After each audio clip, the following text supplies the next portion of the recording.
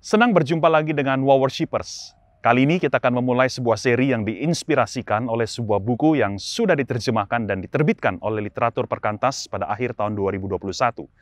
Buku ini sebenarnya kumpulan artikel-artikel dari sejumlah penulis yang merupakan murid dari pakar sejarah ibadah terkenal, yaitu Lester Ruth. Kami sangat mendorong Wow Worshippers untuk membacanya karena banyak ide dan pencerahan yang terkandung di dalamnya. Topik seri ini adalah tentang flow ibadah yang akan dikupas dalam empat episode. Saya akan membahas definisi flow ibadah dalam tiga episode pertama.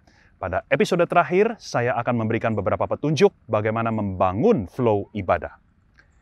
Bagi kita yang akrab dengan ibadah kontemporer, kemungkinan sangat besar kita pernah mendengar istilah flow ibadah atau ibadah yang mengalir. Pada umumnya, kita mengaitkan istilah ini dengan cara tertentu dalam menggunakan iringan musik di sebuah ibadah musik yang berkesinambungan dari awal sampai akhir. Beberapa lagu yang dimainkan atau dinyanyikan secara terus-menerus. Sekalipun ada bagian transisi di mana jemaat berhenti bernyanyi dan mungkin pemimpin ibadah hanya berdoa atau berbicara kepada jemaat, iringan musik tetap dimainkan sebagai latar sembari menyiapkan untuk masuk ke lagu berikutnya. Sekali lagi, inilah pengertian akan flow ibadah yang dipegang oleh kebanyakan kita. Sesungguhnya ini pengertian yang sempit. Meskipun penggunaan musik memang mungkin dapat membangun kesan kuat akan sebuah aliran dari ibadah. Mengapa saya katakan ini sempit?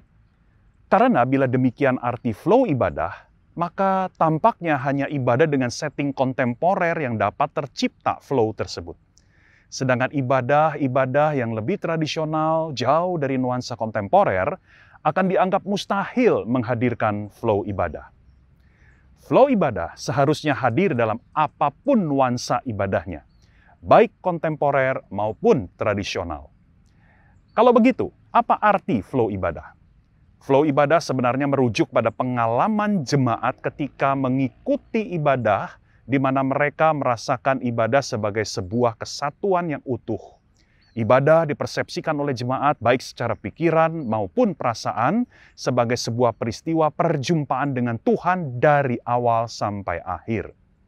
Meskipun ibadah terdiri dari banyak segmen dan elemen, ibadah yang karakteristik flow-nya kuat akan selalu dialami oleh jemaat sebagai sebuah tindakan penyembahan yang setiap bagian-bagiannya saling berintegrasi secara baik dan mulus. Ketika jemaat tidak lagi mau datang terlambat karena mereka memandang ibadah itu penting dari awal sampai akhir, maka jemaat sudah menangkap flow itu. Atau ketika jemaat tidak lagi hanya menganggap elemen tertentu seperti khotbah sebagai yang terpenting dari ibadah, maka jemaat sudah menangkap flow itu. Jemaat menghargai setiap elemen yang merupakan bagian dan sebuah dari sebuah kesatuan yang utuh. Jemaat menjalani setiap elemen ibadah meskipun pendek dan terkesan sederhana seperti fotum dengan sikap yang sama antusiasnya. Lawannya dari definisi pertama ini adalah ketika kita menganggap ibadah itu seperti sebuah daftar kegiatan yang harus dilakukan tanpa kita mengerti apa pentingnya setiap kegiatan itu bagi keseluruhan ibadah. Kita seperti hanya berpindah dari satu kegiatan ke kegiatan lain Ibaratnya kita belanja di supermarket dengan membawa daftar apa saja yang mau dibeli, tomat, wortel, mie instan, garam, kecap, namun kita tidak tahu sebenarnya apa hubungan semuanya tersebut. Kita hanya merasa harus membelinya satu persatu. Sampai di sini, mungkin kita mengira bahwa flow ibadah itu semata-mata urusan mindset jemaat yang bisa dibereskan dengan kelas atau seminar tentang ibadah. Ini baru separuh kebenaran jemaat sebagai penyembah memang harus memiliki mindset yang tepat untuk memandang kesatuan dan keutuhan ibadah sebagai hal yang amat penting. Akan tetapi, sebagaimana yang akan saya jelaskan di episode-episode selanjutnya, pihak gereja dan pemimpin ibadah pun harus melakukan hal-hal tertentu agar kesan dan pesan keutuhan ibadah itu juga terasa kuat oleh siapa pun yang mengikutinya.